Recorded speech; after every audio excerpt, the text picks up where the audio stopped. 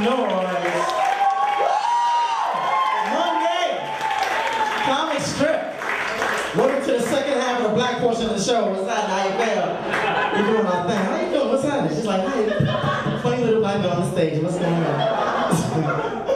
oh, it's exciting to be here. I'm telling you, it was hot, right?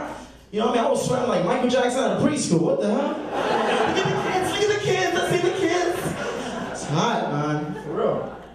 So glad I'm here though. Showbiz being at home, seeing like some uh, reality show, right? Right? You know, like blind date, third date, eliminate date, date break. What's going on with TV, man? God, yeah, there That's, that's coming out this fall, starring Kobe Bryant. Yeah, oh yeah, that's right. I'm telling you, man. Even even commercials too, right? When's the last time you saw a brother do a good quality commercial? Every time he sees a commercial, we shove a cheeseburger in the mouth. hey, Donuts is the joy. Ah. When's the last time you saw a brother do an Advil commercial? We get headaches more than any race in the world.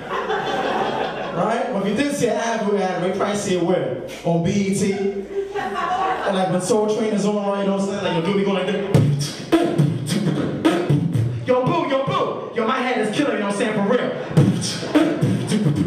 Why don't you take some Advil, stupid damn? Hello, hello, your Advil was good? Yo, it's not gonna be walking, I'm saying, biatch. Four out of five doctors say Advil is the shizzle, you know what I'm saying? Representing son.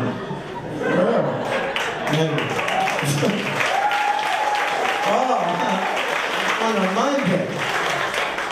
You know what I mean? It's like, who are they gonna get next, right? You know what I mean? Chris Rock doing a McDonald's ad. You're like, how you doing? How many eat McDonald's? You ever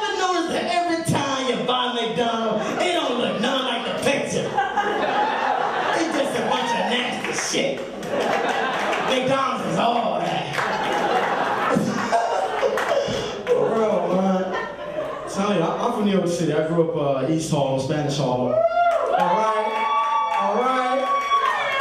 You know what I'm Spanish girls didn't like me though. You know what I mean? Like very, very like indecisive, like loin. I like you, but only a little bit, you know what I'm saying? If you were 6'2 with some cornrows, or you'd be the show you for real, you know what I'm saying? Until then, you can't have this. So go on and play with your balls, whatever. Maritza. yeah, man, I got uh, West African parents, man. See, Lloyd Diamond, that's my American name. See, my West African name is Kwabena Poku Antwi. Screw you, that's my damn name. You see, now you would think with an African name, right? It would mean something important. King, warrior, prince. No, my name means born on Tuesday. I am Tuesday. my father, man, he must have been smoking some African stuff, right? Son. What is today?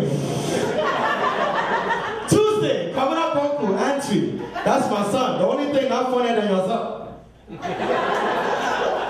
thought it was a trip, man. I mean? It's like he's always in my business too, man. Even at my high school prom, he showed up. Yeah, oh, that's messed up, man. I was about 22 years old. The reason's a hard test. You know what I mean? Early 90s move. Can't tell this. You know what All of a sudden, right, Pop shows up. Coming up, Pop, look at my baby son right now. Look at my son. He's dancing with his flat top all nice and tight. Ah, look at my son. And he dancing with a girl. Look at my son doing that. That. All this time, I thought my son was like gay. I don't believe this. He's a man now. My baby son.